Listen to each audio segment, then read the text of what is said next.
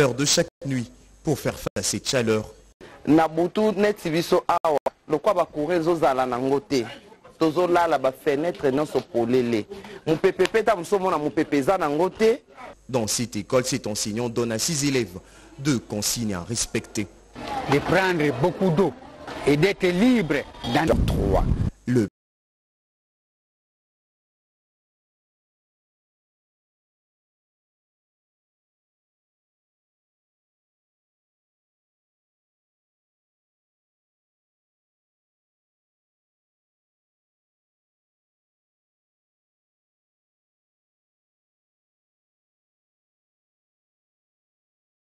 de température dans la ville-province de Kinshasa a été observé le 12 mars 2024 où on a atteint 37,5 degrés Celsius.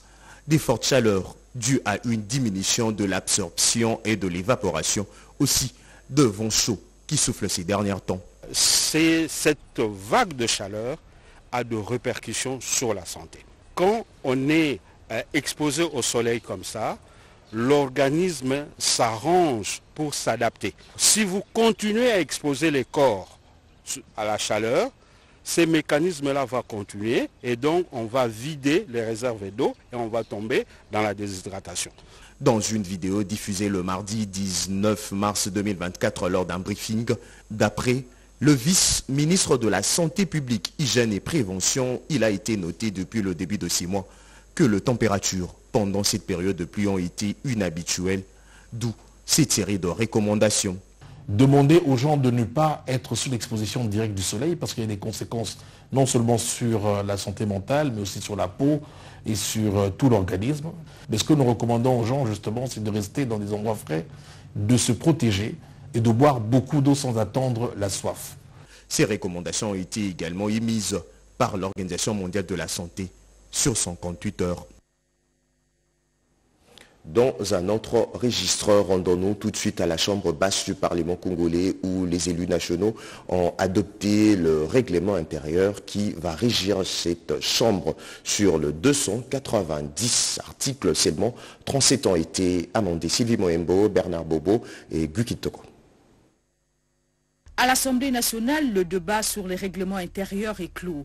Les députés nationaux ont adopté ces documents devant régir le fonctionnement de cette chambre du Parlement de la quatrième législature. C'est le président du bureau d'âge, Christophe Mbosoko Diapwanga, qui a conduit cette plénière. La secrétaire faisant office du rapporteur, la députée nationale Umba Nzuzi Persi, a égrené 253 articles non susceptibles d'amendement sur les 290 articles lesquels ont été adoptés in globo par l'Assemblée plénière. Seuls 37 articles ont été amendés, dont 4, 7 alinéa 2, 16 alinéa 3, 19 alinéa 2, amendements non retenus, et le 24 alinéa 1er, 4 et 6, 25 alinéa 1er et 5 non retenus, etc.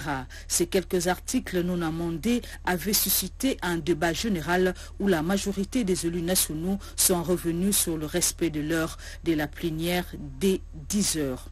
S'agissant de la participation du chevalier du micro et de la plume en plénière, seuls les organes accrédités auront accès dans la salle.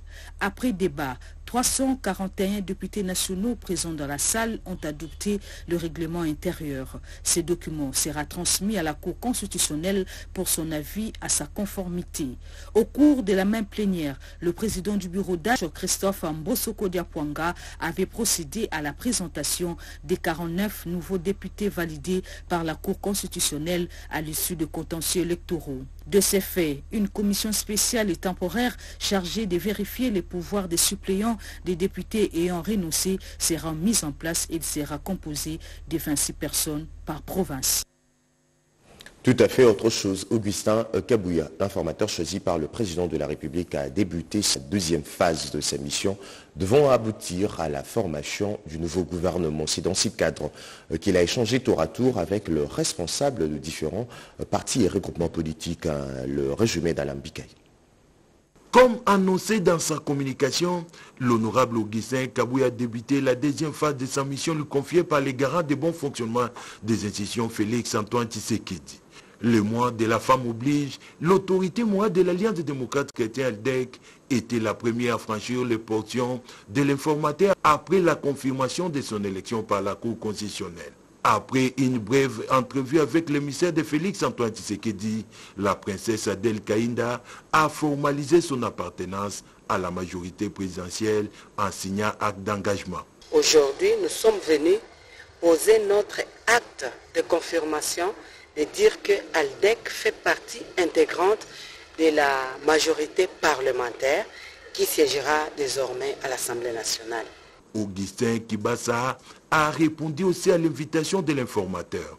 L'UDPS Kibassa est disposé à accompagner Félix Antoine Tshisekedi pour la réussite de son deuxième quinquennat. À ce stade, c'est de laisser tranquillement l'informateur terminer son travail et en bout de ligne, le président de la République décidera de ce à quoi ressemblera le prochain gouvernement. La délégation des progressistes conduite par l'ancien Premier ministre Sami Badibanga a échangé avec le député national Augustin Kabouya sur leur appartenance à la famille politique de Félix Antoine Tshisekedi. Sami Badibanga, confirmé député national par la Cour constitutionnelle, a aussi signé l'acte d'engagement à cette coalition majoritaire. C'est surtout que la famille euh, de la majorité qui est bien composée ait une cohérence en son sein, qui ait euh, des rapports euh, cordiaux et que cela permette à ce qu'on puisse gérer la République en toute quiétude. Après la publication définitive des résultats des législatives nationales par la Cour constitutionnelle, les regroupements politiques Action des alliés nationalistes pour la démocratie AAND a enregistré trois députés nationaux dans ses rangs. C'est dans ce cadre que AAND est venu attester son appartenance à la majorité présidentielle. J'ai trouvé un homme euh, euh, ouvert, expérimenté. Je fais confiance, je pense que euh, est, très organisé. Hein. Et donc déjà, lorsque dans un travail on est organisé et ordonné, c'est déjà 50% de l'état qui réussit. La délégation du regroupement politique AVCA de Didier Boudimbo a été aussi au rendez-vous. L'élite de Kassangoulou et ses élites sont disposés à rendre de loyaux services à la nation. C'est avec l'Alliance pour la réforme de la République, ADR de Henriette Ouamou, que l'informateur a bouclé ses activités journalières. ADR et ses deux députés veulent accompagner les chefs de l'État. Retenons que la deuxième mission de l'informateur est cruciale pour la formation du prochain gouvernement. Madame, Messieurs, le reportage que vous allez suivre à présent vous propose un retour en image sur ce qui a été la mission de contrôle de l'inspection générale de finances Yolande Voka.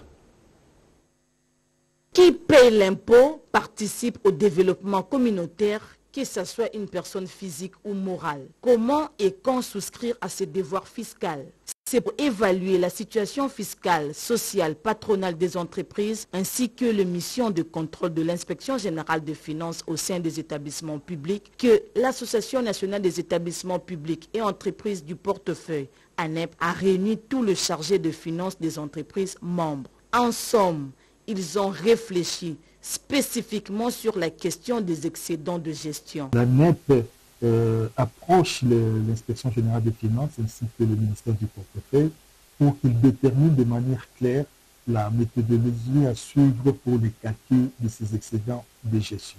Néanmoins, quelques éléments ont été euh, retenus pour améliorer le travail de l'EGF, notamment éviter euh, la lenteur dans le traitement des dossiers, et faire en sorte que les provisions soit accepté dans toutes les entreprises de la même manière, afin de leur permettre de réaliser ou de résoudre les problèmes urgents qui se présenteraient, et aussi, dans la mesure du possible, alléger un peu euh, ces contrôles de manière à ce que le contrôle a priori ne puisse concerner que les investissements, que le fonctionnement fasse objet d'un contrôle à posteriori. Le but de cet exercice est de garantir le bon fonctionnement de ces entreprises et veiller à l'équilibre de gestion entre les charges fixes et ponctuelles.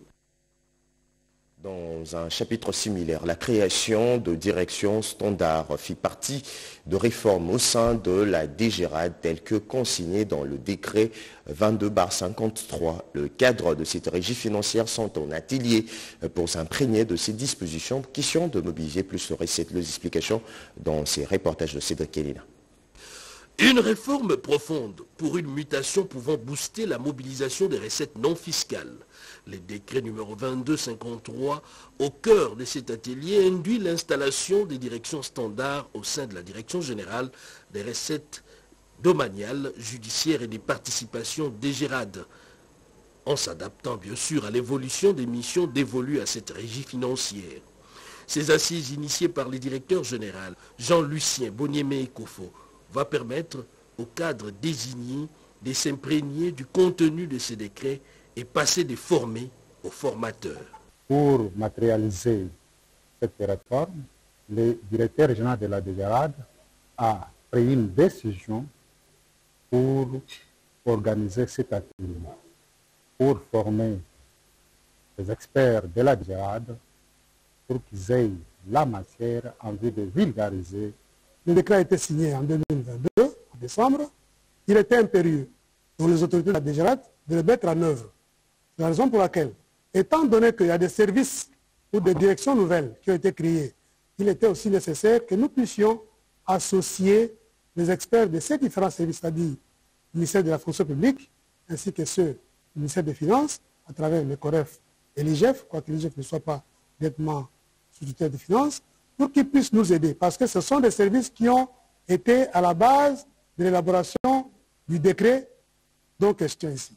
La DGRAD qui a comme bras séculier les services d'assiette s'appuie sur les imprimés des valeurs dans la mobilisation des recettes pour les comptes du trésor public. Des modules aussi variés sont prévus avec des experts venus du ministère de la fonction publique, des finances, du COREF et autres. La gestion des ressources humaines, les notions de contrôle et audit interne sont là, de quelques matières dispensées jusqu'à ces jours. Il s'est ouvert en RDC un forum à la cellule nationale de renseignement financier. Le pourquoi dans ces reportages. La croisade contre le blanchiment des capitaux et le financement du terrorisme se poursuit au niveau de la cellule nationale de renseignement financier. Les avocats, experts comptables, notaires, tenants des casinos, conservateurs de titres immobiliers et autres exploitants miniers représentés dans cet échantillonnage ont été édifiés sur la supervision basée sur le risque de blanchiment des capitaux. Ils ont eu droit à la présentation du décret fixant organisation et fonctionnement de l'autorité des régulations et de contrôle de ce qu'on appelle les entreprises et professions non financières désignées. Le secteur des EPNFL, c'est un secteur à plusieurs secteurs. On a les experts comptables, etc. Donc, je me suis rendu compte qu'il y a certaines questions, certaines préoccupations qui pouvaient poser des problèmes d'application qui devraient absolument être résolus au travers des lignes directrices, de détermination des cadres et des procédures qu'on prendrait prochainement. Le secrétaire exécutif de la CNRF, Adler Kissula, en appelle à la collaboration de tous pour lutter contre ces fléaux. La quasi-totalité des secteurs, tant publics et privés, présentent beaucoup de vulnérabilités et sont donc exposés à la menace de blanchiment des capitaux. Les menaces de blanchiment des capitaux et de financement du terrorisme ont été évaluées très élevées dans vos différentes professions.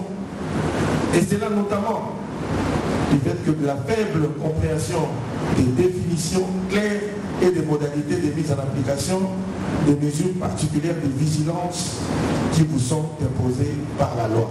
Ce cadre de collaboration est nécessaire pour sortir le pays de la liste grise dans laquelle il se trouve afin qu'il retrouve le standard requis sur le plan financier international.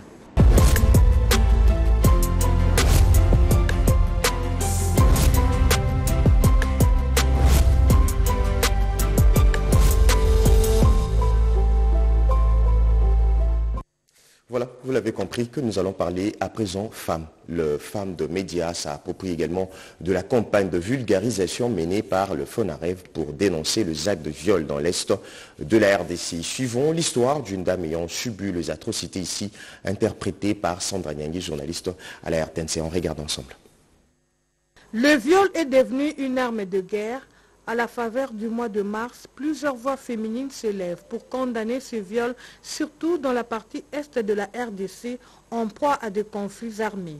À l'instar de ces récits poignants de Madame Kabibi, interprétés ici par Sandra Nyangui, journaliste à la RTNC. Mon nom est Kabibi.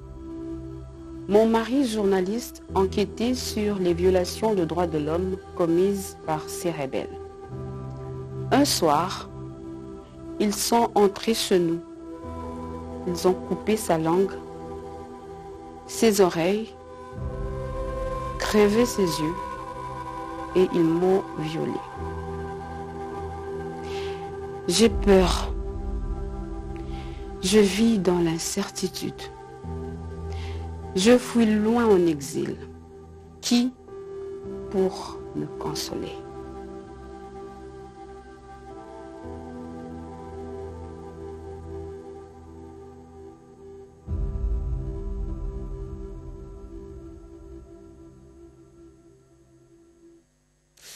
Une histoire vraiment euh, triste, mais nous allons euh, continuer cette édition. Parlons à présent santé, la maladie infectieuse au centre d'une réflexion d'un atelier de 10 jours. Les experts et partenaires de la Croix-Rouge ont cogité sur le comment détecter euh, ces maladies. Joël Makiela. Au cours de cet atelier de deux jours, il était question de s'approprier l'approche Une seule santé, une stratégie mondiale concernant des menaces sur la santé publique et qui a poussé l'humanité à prendre conscience que la santé humaine, la santé animale et celle environnementale sont étroitement liées. Dans cette démarche, les participants ont formulé quelques recommandations. Il s'agit entre autres du renforcement du système de surveillance et de l'implication de la communauté à la détection ainsi qu'à la réponse aux problèmes de santé publique. C'est en vue de permettre au pays de répondre aux exigences du règlement sanitaire international dans le domaine technique de surveillance. Nous saluons l'initiative de l'organisation de cet atelier en vue de nous amener à nous approprier l'approche une santé afin de faciliter, de coordonner et de promouvoir la collaboration et la coopération multisectorielle et transdisciplinaire pour la préparation, la prévention, mais également la détection et la riposte contre toutes ces maladies, de manière à pouvoir effectivement faire face à tout ce problème de santé. C'est ainsi que la Croix-Rouge RDC salue l'accompagnement technique de la Fédération internationale de sociétés de la Croix-Rouge et du Croissant-Rouge dans le travail de la commission de coordination Une seule santé, plateforme nationale pour renforcer la surveillance à base communautaire en République démocratique du Congo en utilisant l'approche Une seule santé et puis ces titres avant de nous quitter, le jeune Congolais outillé sur l'entrepreneuriat par le Fonds commun de la jeunesse et structure a tenu son grand dîner pour la session du mois de mars 2024 le mardi dernier. Cette session axée sur le thème l'entrepreneuriat, l'agriprenariat, le présent et l'avenir d'une jeunesse retrouvée a réuni des entrepreneurs de tout le secteur, aussi les jeunes ambitieux dans les affaires Objectif, donner aux jeunes le moyen de participer activement à la construction de leur avenir. Pour Célémani Marina, l'une de panélistes et entrepreneurs, les jeunes ont le droit d'aller de l'avant, d'où le souci du Front commun de la jeunesse d'accompagner le jeune. De son côté, le président national du FCJ a souligné que le souci est d'accompagner le jeune entrepreneur avec deux idées et le financement. Le problème de l'entrepreneuriat, c'est l'idée, la passion et la résilience. Oui, on peut avoir les meilleures des idées, mais sans aussi l'appui financier, on n'arrive pas à aller de l'avant. C'est ainsi que nous avons placé notre programme depuis plus de deux ans maintenant, un millionnaire chaque semaine. Donc à chaque, euh, fois, à chaque session, nous répertorions des jeunes Congolais entrepreneurs que nous subventionnons. Au début, on avait commencé avec un million de francs congolais Et aujourd'hui, euh, pour cette session, nous allons subventionner au moins 15 jeunes à hauteur d'un million cinq cents. Avec des meilleures idées, ils peuvent aller de l'avant. Espace de réflexion et d'accompagnement pour la jeunesse en mettant l'accent sur la participation citoyenne. Le Fonds commun pour la jeunesse propose d'être la voie